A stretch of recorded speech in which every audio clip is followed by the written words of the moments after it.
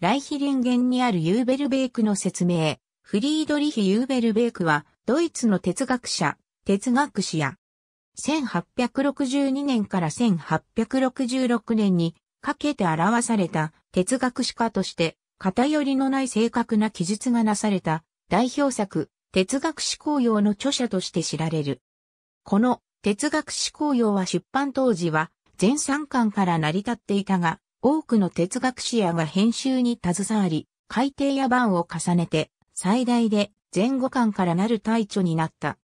ユーベルベークの死であったフリードリヒ・アドルフ、トレンデンブルグ1826年1月22日、ドイツライン地方のライヒリンゲンにルター派の牧師であった父ゴットリープ・フリードリヒ・ユーベルベークのもとに生まれ、少年時代はデュッセルドルフの学校に通った。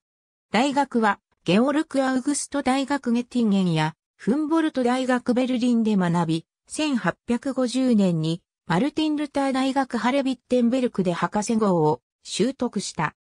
1852年にはラインフリードリヒビルヘルム大学ボンで思考士として働き、1862年にアルベルトゥス大学系にヒスベルクで院外教授として勤め、1868年に正式な教授として哲学の教鞭を取った。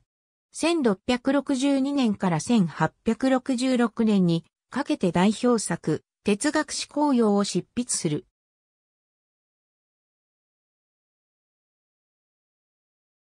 1871年6月9日、ケーニヒスベルクで亡くなる。